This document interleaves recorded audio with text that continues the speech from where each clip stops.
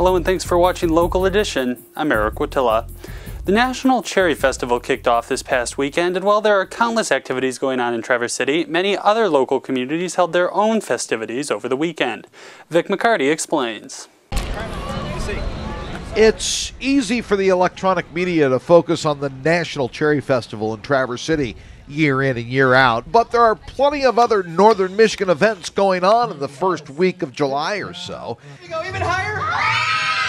In Lake City, for example, there's the greatest fourth in the north. We are the friendliest town around. On Beaver Island, there's quite possibly the most entertaining 4th of July parade around. Eat raw honey, Beaver Island honey. It's good for you. And as we found out recently, Harbor Springs pulls out all the stops for its 4th. Here for tickets. I didn't know that.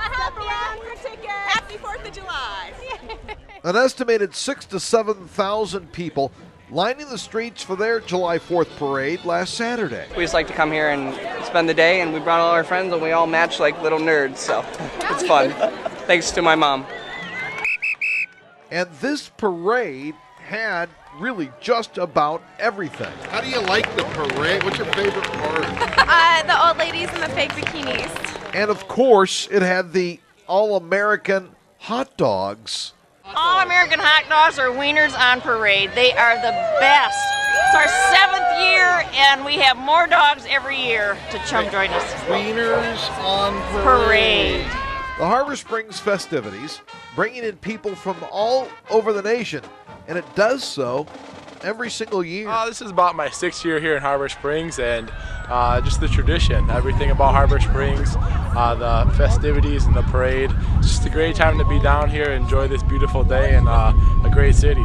Now, with attention for the moment being focused on over there and facing that way for the parade, attention's already focusing over here and facing that way for the fireworks in Harbor Springs tonight.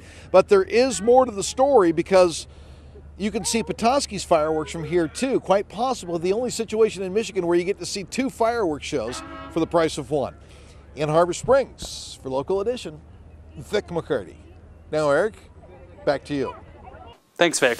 Coming up next on Local Edition, I'll explain why our newscast is actually in its last week on the air. Stay with us.